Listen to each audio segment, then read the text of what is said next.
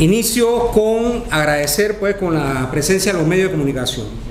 En el día de ayer el país fue objeto de una información dada por el Ministerio Público, que con anterioridad la habían dado en el Ejecutivo, de una operación que llamaron Obra Gris. En esta operación, que se realizó en el día de ayer y de forma totalmente arbitraria e ilegal, y después entraremos en los detalles de la arbitrariedad y la ilegalidad, se allanó la casa del compañero José, perdón, del compañero Manuel Rodríguez, el secretario de Acta y Correspondencia, creo que todos ustedes conocen a Manuel, un hombre probo, honrado, honesto, serio en el desarrollo de las tareas sindicales, y el compañero Lai, que es representante sindical ya con experiencia. También fue allanada a su casa y fueron detenidos. ¿De qué se trata? De un proyecto Azurra 42 que se construía en Betania, perdón, en Bellavista, donde laboraba incluso el compañero Lai y era, fue nombrado ahí como representante sindical. Y el compañero Rodríguez, que además es miembro de la Junta Directiva y que está asignado al grupo 3, que tiene entre sus obligaciones visitar las obras y hacer las reuniones con los trabajadores. Y como política permanente del sindicato es la afiliación de los trabajadores de forma voluntaria a la organización y la negociación del convenio colectivo. El día 17 de abril los compañeros fueron al proyecto, ahí hubo una reunión con los trabajadores y los subcontratistas que estaban evadiendo aplicar la convención colectiva. Y un representante del empleador que estaba allí, que además llegó tarde y altaneramente, produjo una situación en la que se acaloró una discusión. A partir de ahí el individuo se presentó al Ministerio Público, allí recepcionaron su denuncia y por más de un año, en un expediente que incluso había sido declinado a un juez de paz, resulta ser que han montado un mamotreto en el cual han vinculado al compañero Rodríguez y al compañero Moreno en un supuesto acto de extorsión que no existe. Pero además, ayer cuando observaba las declaraciones del procurador y también del fiscal, y ya estábamos enterados de la situación, aquí hay una nota del Ministerio Público en el que después de una reunión que sostuve junto a otros dirigentes y el cuerpo de abogados, solicitamos si se estaban investigando dirigentes de Suntra en medio del conflicto del año pasado. Me refiero al conflicto minero. Y en cuanto a Manuel Rodríguez, miembro de la directiva, el secretario general José Antonio Candanedo Chian, secretario general de la Procuraduría General de la Nación, indicó que no tenía ningún tipo de investigación. Con lo cual mintieron con dolo, porque resulta ser que Manuel tenía una investigación abierta y tenía derecho a defenderse de esa investigación. Y aquí está la nota que dice, y por favor hagan una toma, y le vamos a dar una copia, de que Manuel no estaba siendo investigado. Esto es un acto criminal. Porque que alguien que dirija la Procuraduría yo le estoy pidiendo que certifique si me están investigando o no. Me debió de poner de conocimiento si me estaban investigando o no. Y no lo hicieron. Ahora resulta ser que hay una investigación, de nuevo por la Fiscalía de Crimen Organizado, hablando de un supuesto, una supuesta extorsión. Todo esto es violatorio a la libertad sindical. Libertad sindical que implica el derecho a organizarse de los trabajadores libremente, sin intervención de la empresa, del gobierno ni de ningún ente externo que no sean los trabajadores. Y quien presenta la denuncia que se hace, se, se hace víctima en este proceso, resulta ser presunta víctima, resulta ser que es el representante del empleador.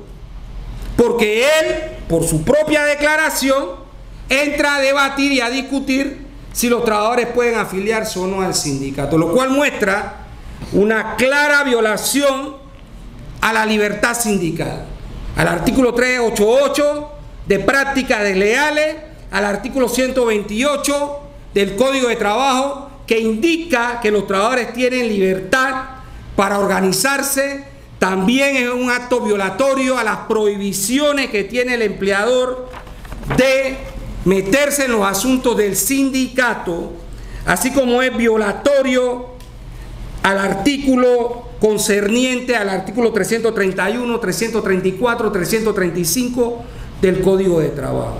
A los convenios de libertad sindical 87 y 98, que los trabajadores tienen derecho a organizarse sin intervención de nadie, tienen derecho a negociar convenios colectivos, como establece el artículo 401, 404, 405 del Código de Trabajo. Aquí se está instrumentalizando una vez más al Ministerio Público para perseguir a los dirigentes de Suntra, para perseguir el derecho constitucional del artículo 42 y 68 de que se pueden crear sindicatos libremente. El artículo 69, que es el derecho a huelga, el derecho a huelga es un derecho constitucional y en la denuncia del susodicho habla de una paralización. Y una paralización implica en una obra de construcción que puede darse en varios sentidos. Por problemas de salud y seguridad que debe ser inmediato, por una huelga que el sindicato haya declarado o por una huelga. Y resulta ser que el susodicho ya eh, posible víctima indica que ese es el problema. Pero además atacan de que lo que queríamos o lo que querían los compañeros era la cuota sindical. La cuota sindical, como todos sabemos aquí, la generan los instrumentos legales, tanto el código de trabajo como el convenio colectivo. Y la pagamos de dos formas. Los que somos miembros del sindicato, pagamos nuestra cuota y el trabajador que no quiere ser miembro de la cuota sindical. ¿Por qué razón? Porque se beneficia del convenio colectivo. Mal entonces, cualquier fiscal puede hablar de una extorsión cuando se está hablando de organización de los trabajadores, que significa su afiliación, de negociación de convención colectiva, que es el derecho y la obligación de los empresarios de negociar con los trabajadores y la organización a la que pertenecen la convención colectiva y el derecho a huelga. Es decir, aquí los derechos y garantías fundamentales de libre sindicalización, de libertad sindical, se están criminalizando en un acto bárbaro del Ministerio Público pero además sonado como la gran operación que resulta ser, se genera de un conflicto que se da en un proyecto, como muchos conflictos se dan en un momento determinado. Y el conflicto colectivo de trabajo también está tutelado en el Código de Trabajo. El conflicto jurídico de derecho, que son las violaciones a las normas legales constituidas en materia de derecho laboral, así como también el conflicto económico de intereses que significa la negociación del convenio colectivo. Bajo ningún criterio podemos aceptar que los dirigentes de Suntra que estuvieron el 17 de abril del año pasado en el proyecto fueron a coaccionar a nadie. Como todos sabemos, hay más de 104 mil obreros que portan un carnet que dice que son miembros de Suntra. Y eso es un acto voluntario y hay muchos otros obreros que nunca se han afiliado a Suntra. Y ese es su derecho. Y nosotros así lo entendemos y lo comprendemos. Entonces, bajo ningún criterio podemos aceptar esta situación que se ha dado. Tanto el compañero Moreno como el compañero Rodríguez, hasta estos momentos están a orden de la Fiscalía. En algún momento deberán presentarlo ante un juez de garantía. Pero en realidad aquí hay un acto realmente salvaje del Ministerio Público en, fíjense, desde el primer momento el denunciante, supuesta víctima, habló de Suntra. Aquí no ha llegado una sola documentación del Ministerio Público preguntando si Manuel era dirigente de Suntra o no, si era dirigente de Suntra o no, en el carro que estaba si era del Suntra o no. Y obviamente esto es inaceptable lo que ha ocurrido con el caso de los compañeros Rodríguez y Moreno. Entonces, no estamos para show, no estamos para que el Ministerio Público una vez más sea instrumentalizado contra los dirigentes de Suntra. Si hay problemas de delincuencia organizada en las obras, eso se lo pueden agradecer desde el gobierno de Martín Torrijos en adelante. ¿Sí? A ellos se lo pueden agradecer. Porque justamente a Luis Argüelles y a Osvaldo Lorenzo lo mataron sicarios contratados por empresas, patrocinados por gobierno. Y eso se ha mantenido como una constante.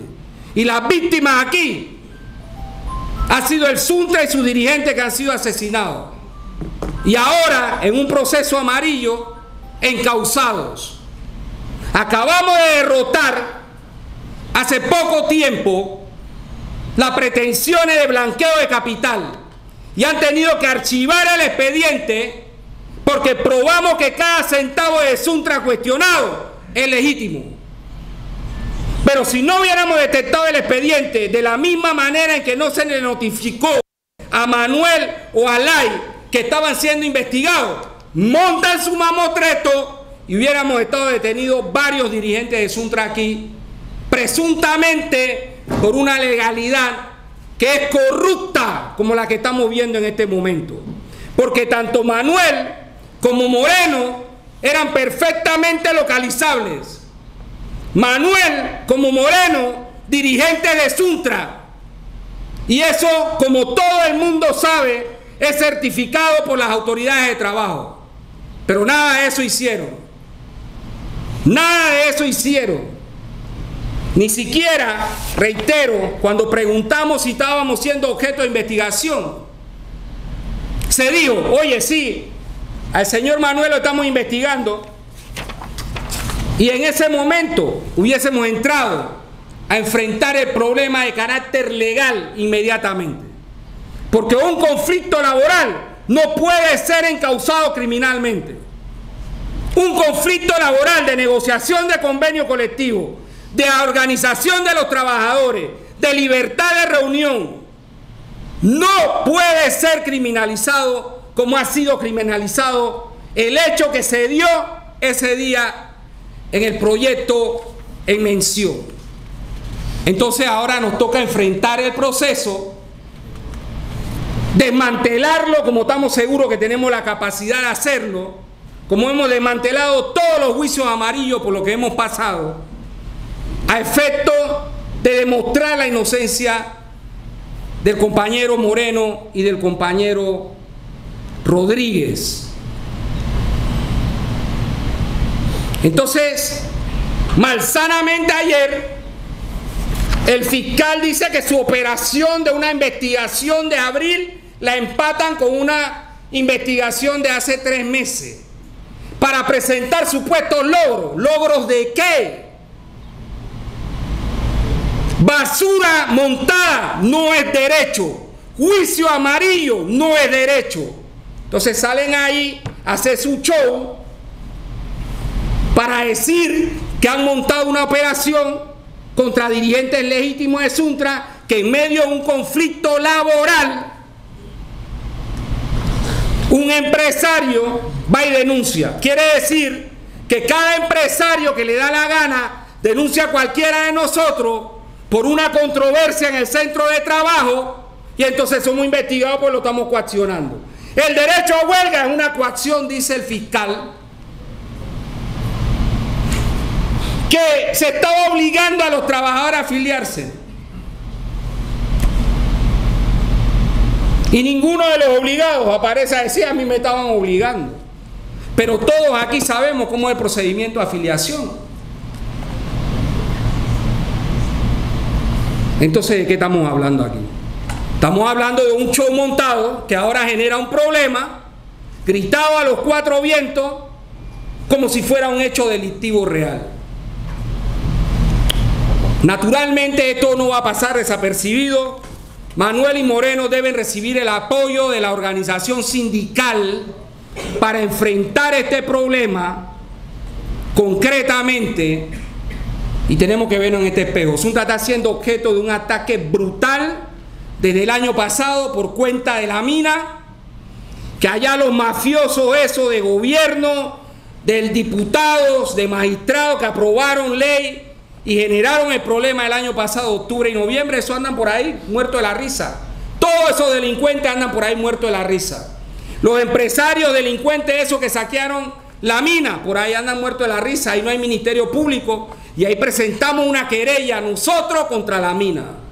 Y ahora sabemos que estamos al frente de un posible conflicto con relación al seguro social y no escatiman esfuerzo en seguir persiguiendo a los dirigentes de inaceptable, inaceptable, porque aquí se están conculcando derechos fundamentales, porque el derecho a la libertad sindical, el derecho de organización, el derecho de negociación, son derechos constitucionales. Y eso no vamos a aceptar bajo ningún criterio que sean criminalizados. Si hay crimen, que persigan el crimen, no nos oponemos. Es más, a lo interno, si hay coimeros, si hay dirigentes que no sirven, aquí mismo lo votamos y todos aquí sabemos cómo es el mecanismo. Pero que no vengan con estos shows en medio de un conflicto laboral a montar un expediente de esta naturaleza, pero además a negar la defensa. Porque si a Manuel se le hubiera comunicado esto, ya nosotros hubiéramos practicado pruebas, ya los abogados hubieran intervenido. Hemos tenido que buscar el cuerpo legal ayer, penal, laboral, accesamos a la carpetilla después que los compañeros fueron vinculados para estudiar el caso jurídicamente, el caso de los penalistas y los laboralistas, para hacer un planteamiento serio a la nación con relación a esta nueva embestida contra Suntra. Y no tenemos duda, compañeros, que quede claro y que quede claro a la faz de país. Si alguien aquí de nosotros está en un acto delictivo legítimo, debe ser perseguido por la ley.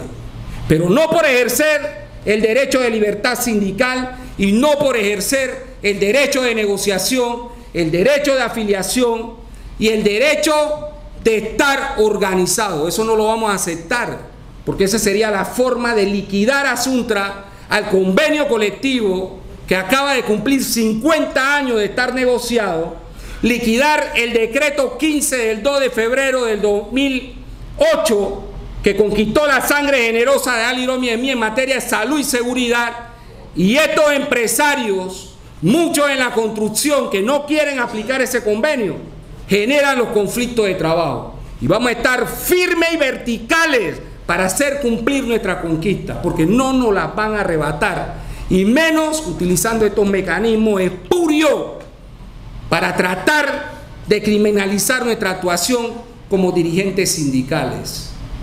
El que cometa un delito, que lo enfrente. Pero la actividad sindical es legal, es constitucional, es derecho humano y la vamos a defender y por eso vamos a asumir la defensa de Manuel y de Moreno. Y por eso hemos convocado a los dirigentes para dar esta información ahora, cuando termine la conferencia, con detalle. Quiero dar la palabra a los abogados penalistas para que puedan hacer algunos comentarios.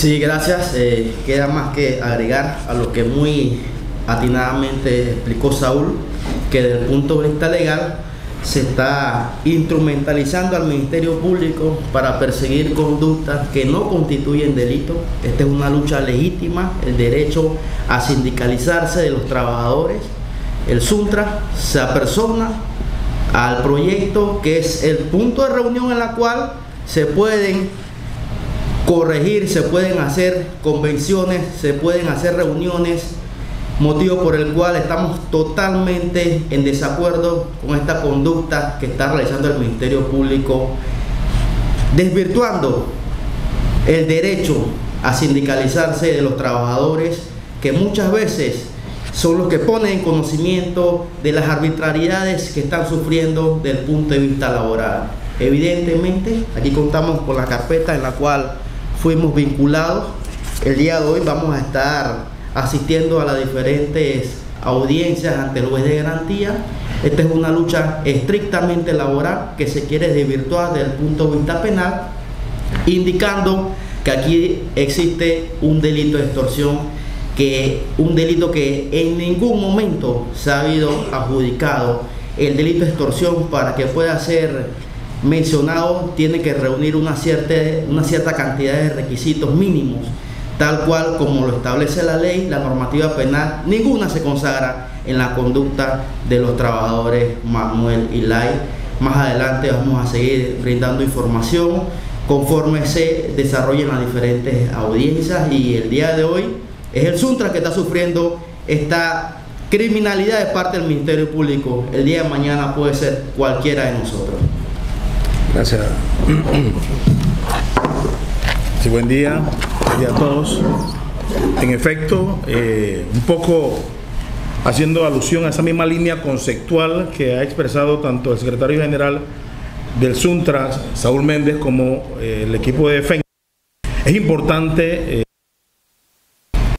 lamentable, en este país se pretende constituir el proceso investigativo penal en una especie de proceso amorfo que data precisamente sobre darle fisonomía incriminatoria a actos legítimos de carácter sindical, a esos derechos, esas conquistas que los trabajadores han logrado a través de luchas en la historia del país. Al fiscal superior primero de crimen organizado, a nuestro juicio se le ha sorprendido. Se le ha sorprendido pues debe saber este país que no existe un dato, indicio, como se le quiera llamar, elemento constitutivo del delito, ni mínimamente que pueda hablar del delito de extorsión. Y esto, a nuestro juicio, es sumamente grave. Lo que en efecto en algún momento dijo un mandatario en este país que se dejasen de utilizar los despachos investigativos y los tribunales para persecuciones de carácter política, sindicales o de cualquier índole. Debe prevalecer en esta nueva jornada que emprende el sindicato en procura de la defensa de los derechos humanos, del debido proceso, del derecho a defensa de ese estado de inocencia que invoca precisamente la nueva normativa penal. Y por lo tanto, frente a ese escenario, estar en alerta frente a situaciones que versan sobre supuestas operaciones que no tienen ni pie ni cabeza para elaborar una eh, promoción de eh, algún dato de acusación o de imputación en algún tribunal. Gracias. No sé si hay alguna pregunta de los medios, por favor quiero saber, Saúl, el caso de ustedes no tiene nada que ver con los supuestos líderes de allá del área del oeste, son dos casos distintos, eso por un lado. Y lo otro, según el fiscal que estuvo en la conferencia de prensa ayer, él decía que la, que la persona que había sido, que había denunciado el delito, que tuvo un enfrentamiento físico, dice, con los miembros de un sindicato, porque nunca dijo que era Sutra, pero imagino que era así, y que en ese caso eh, el señor había presentado una denuncia porque lo habían extorsionado, porque le habían pegado, porque no había permitido. Quisiera solamente que me aclare eso, es la única interrogante que tengo. Gracias. Eh, la respuesta a su primera pregunta es que eso no tiene nada que ver con eso que denunciaron del área oeste. Nada tiene que ver. Como acabo de explicar, esto fue el 17 de abril del año pasado. Pero en la carpetilla consta una incapacidad del señor denunciante, que debo decir es representante del empleador además. En las reuniones sindicales, según el Código de Trabajo y los convenios internacionales, no deben estar los representantes de los empleadores, porque esa es una intromisión a la libertad que tienen los trabajadores de reunirse, de organizarse, de debatir sus problemas, de negociar su convenio colectivo. ¿Cuándo les toca a ellos entrar? Cuando una vez tengamos nuestras demandas, el sindicato se las hace conocer para que las partes se sienten a debatir y a discutir y a buscar una solución del mismo. Debo decirle que el día 17 de abril, incluso el conflicto termina con unas actas que se firman en la obra para la aplicación del convenio colectivo, lo cual es absolutamente legítimo, vuelvo a repetirlo desde el punto de vista legal. Quiere decir que este representante del empleador, si lo entendemos de forma correcta, estaba inmiscuido en una reunión donde él no tenía que estar, pero además de forma prepotente, agrediendo verbalmente según la información que manejamos de los dirigentes el día del hecho. Él tuvo una supuesta agresión, él fue mandado a un médico forense. El médico forense le dijo, según su examen, que no estoy cuestionando, que tenía tres días de, incapacidad.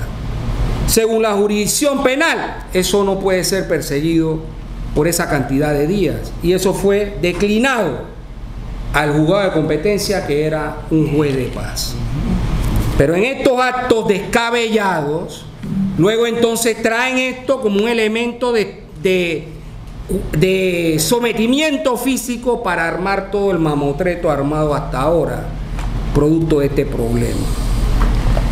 En concreto, el denunciante que lo está haciendo y el fiscal de la causa claramente muestran una situación que quieren convertir en un delito cuando no lo es. Ayer ellos hablaron de un sindicato y yo vi la conferencia.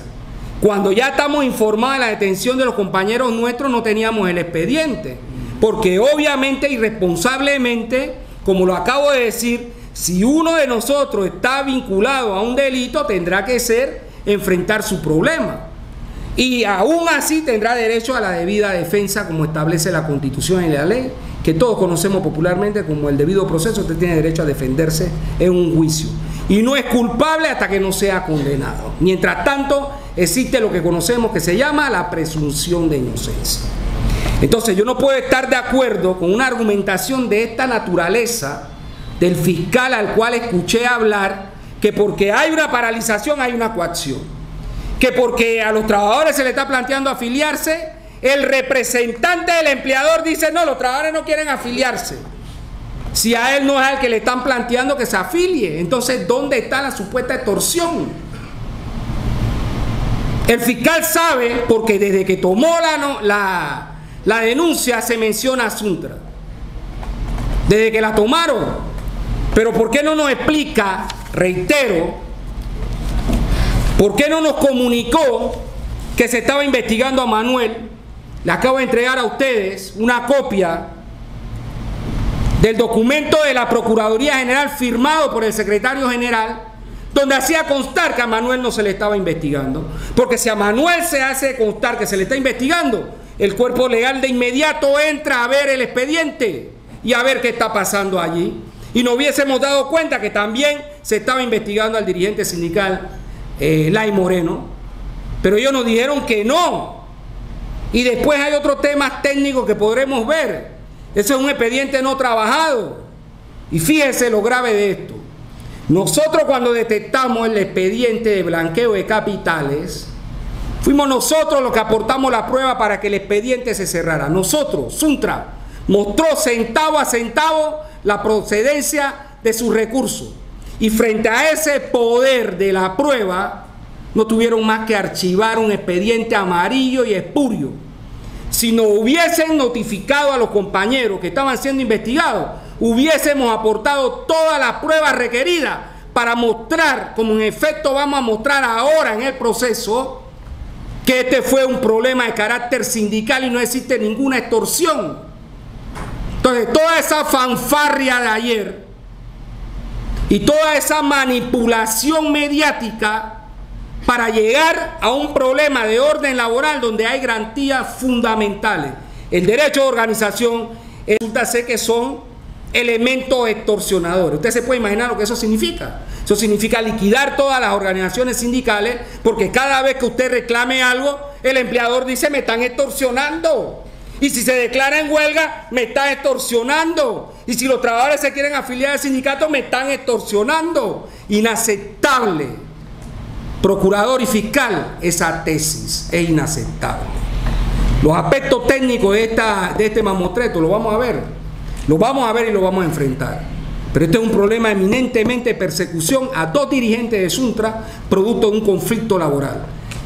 Esto lo han ensayado en el pasado, distintos empresarios, y el Ministerio Público ha declinado, como en efecto declinó la primera vez que acreditaron la incapacidad de tres días.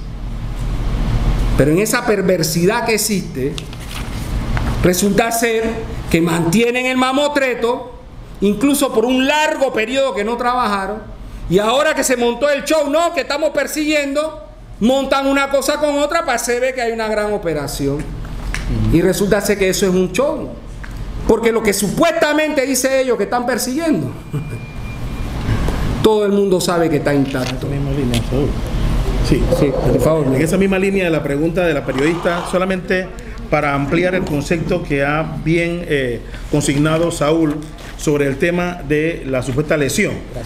El mismo denunciante, eh, en efecto, en el año 2023, dice que fue lesionado por una persona. Pero un año posterior, dice que fueron tres personas los que lo agredieron. Y esas tres personas él describe, no era ni Manuel y tampoco era Lai. Entonces, esto de ordenar un 235, que es precisamente la orden de aprehensión para una persona localizable, porque sabemos y ellos saben, el Ministerio Público sabe dónde localizar a Manuel y a Lai, saben dónde viven, y generar una actividad, una supuesta operación para crear incertidumbre en esta población sobre la verticalidad, la honestidad la, y, lo que corresponde a el movimiento popular o el movimiento sindical es a nuestro juicio utilizar el mecanismo que se dijo en algún momento iba a ser cosa del pasado para perseguir a través de fiscales y jueces a personas por diferentes naturaleza que no fueran las judiciales. Y eso es importante que se sepa. Las incongruencias de este denunciante la imprecisión del Ministerio Público, la falta de seriedad en la investigación y lo que corresponde a lo más importante, no hay un solo elemento constitutivo del delito de extorsión para los efectos que el gobierno o la fiscalía haya determinado la aprehensión y llevado a un tribunal de garantía de estos dos compañeros. Eso es importante que lo sepa este país. Muchas gracias. Muy bien, gracias. Gracias.